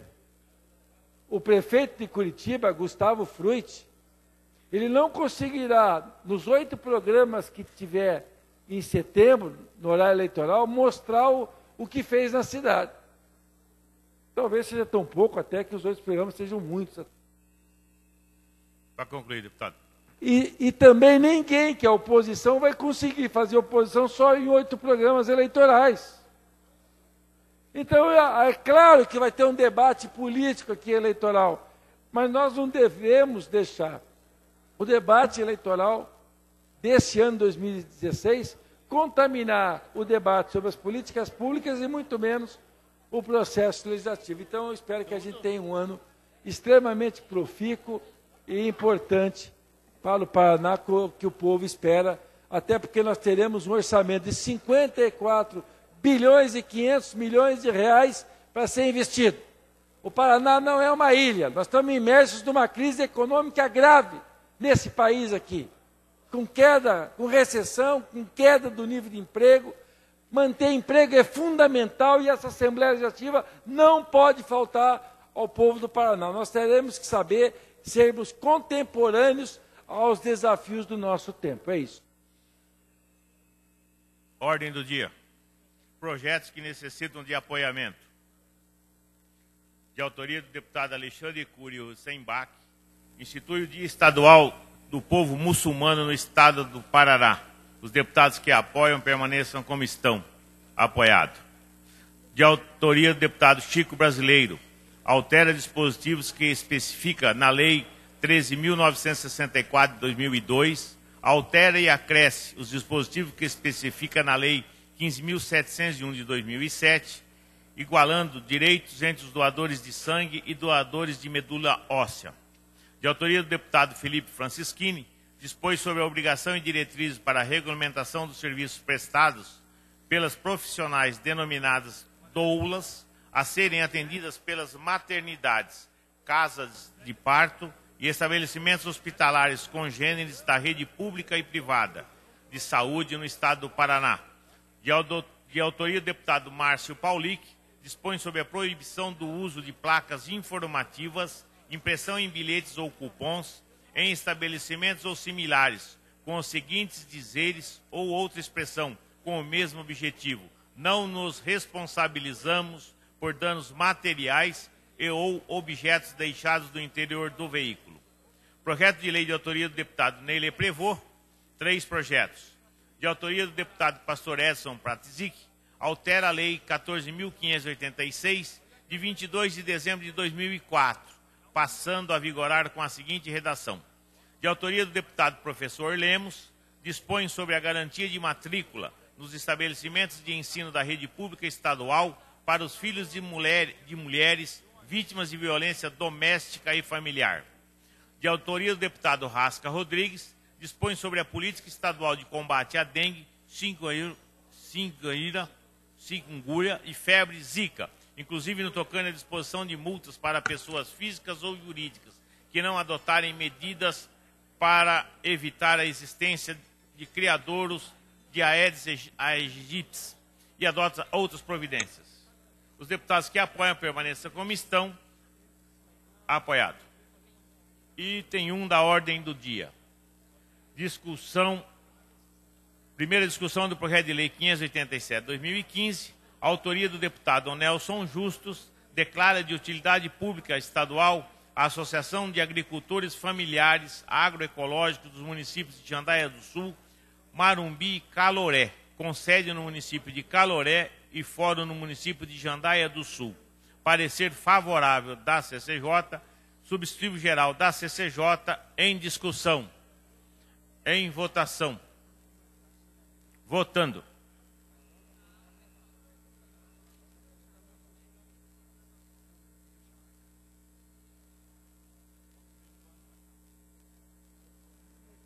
Voto sim.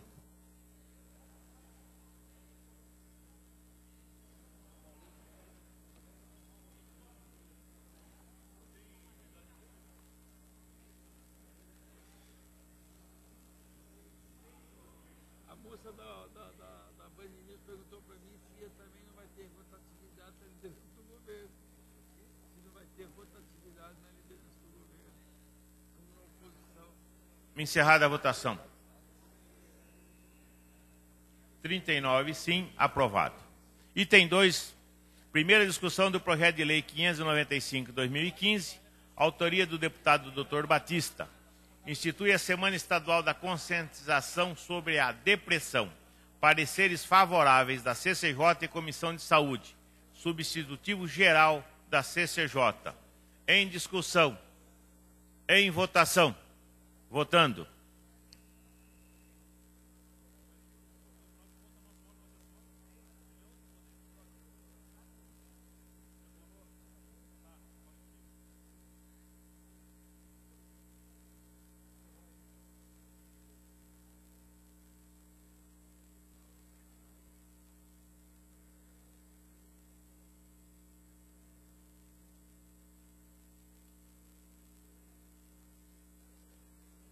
Encerrada a votação. 38 sim, aprovado. Item 3. Primeira discussão do projeto de lei 790-15, autoria da Comissão de Agricultura, Pecuária e Abastecimento e Desenvolvimento Rural. Concessão de título de utilidade pública à Associação dos Produtores da Microbacia do Pico Agudo, com sede no município de Japira e fórum no município de Ibaiti. Parecer favorável da CCJ. Em discussão. Em votação. Votando.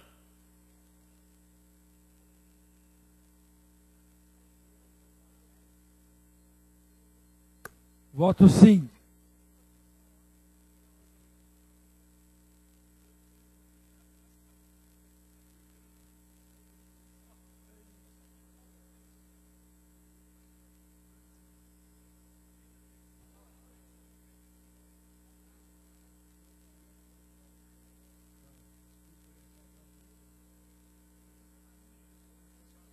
Encerrada a votação. 36 votos sim, aprovado. Item 4 da pauta. Primeira discussão do projeto de lei 807-15, autoria do deputado Ademir Bier, concessão de título de utilidade pública à comunidade terapêutica São José, Nova Jornada, CTNJ, com sede e fora no município de São José dos Pinhais. Parecer favorável da CCJ, substitutivo geral da CCJ, em discussão em votação. Votando.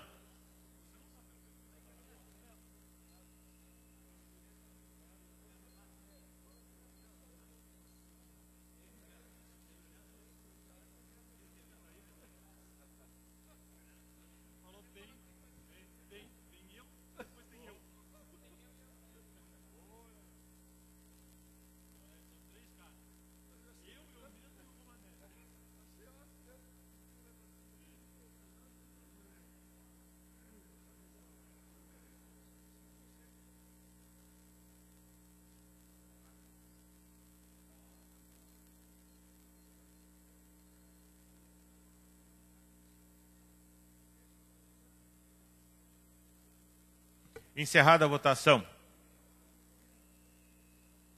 38 sim, aprovado. Item 5 da pauta. Primeira discussão do projeto de lei 866-15, autoria do deputado Felipe Francischini.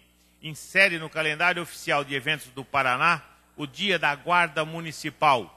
Parecer favorável da CCJ. Em discussão. Em votação. Votando.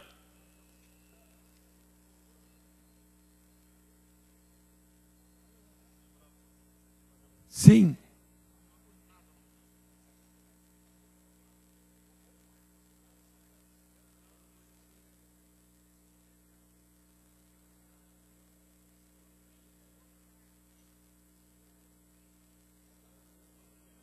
Encerrada a votação. 36 votos sim, aprovado. Requerimentos.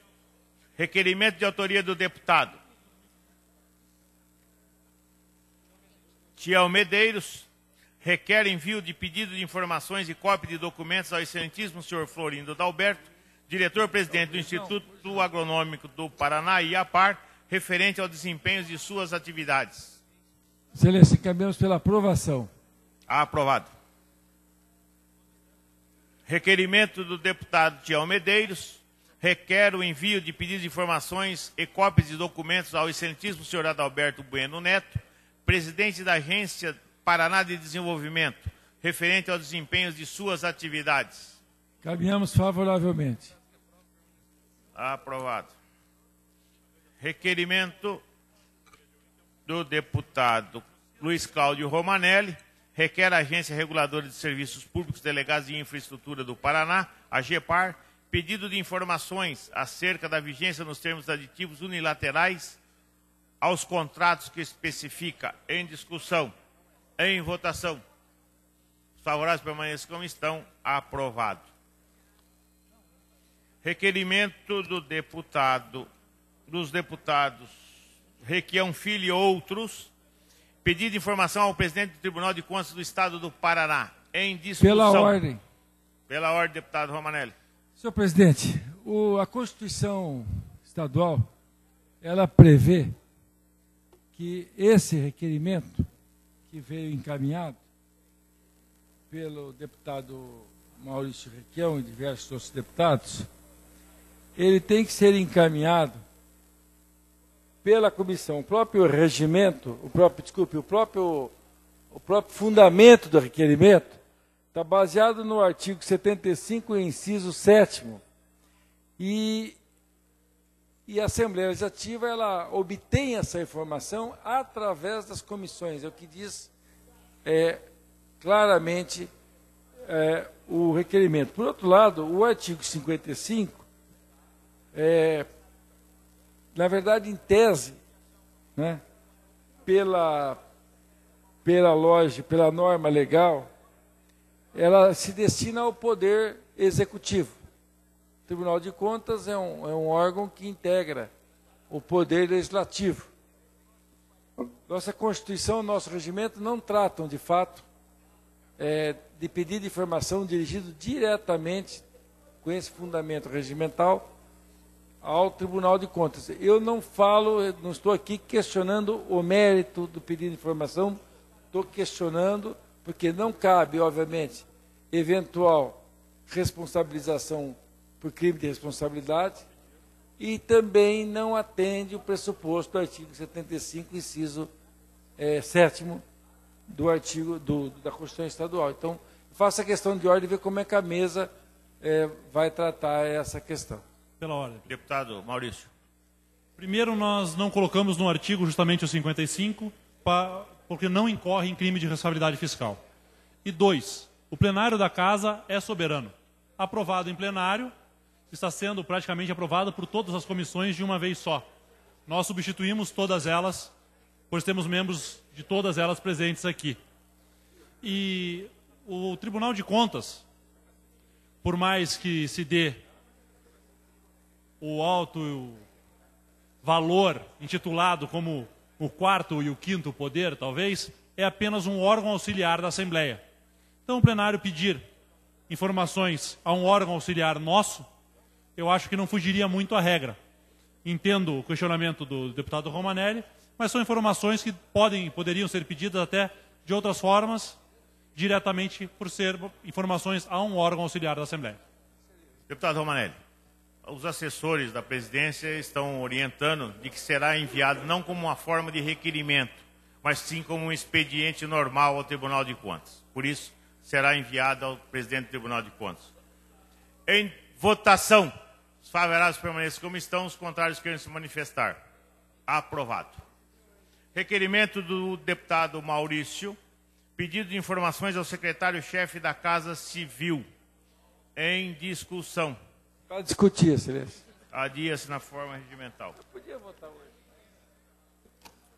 Requerimento do deputado Luiz Cláudio Romanelli, líder do governo, requer regime de urgência ao projeto de lei 01-2016, mensagem 01-2016, que autoriza o Poder Executivo a celebrar termo aditivo ao contrato firmado com a União no, ao amparo da Lei Federal 9.496, de 11 de setembro de 1997, para alteração das condições estabelecidas pela Lei Complementar Federal número 148, de 25 de novembro de 2014, regulamentada pelo Decreto Federal número 8.616, de 29 de dezembro de 2015.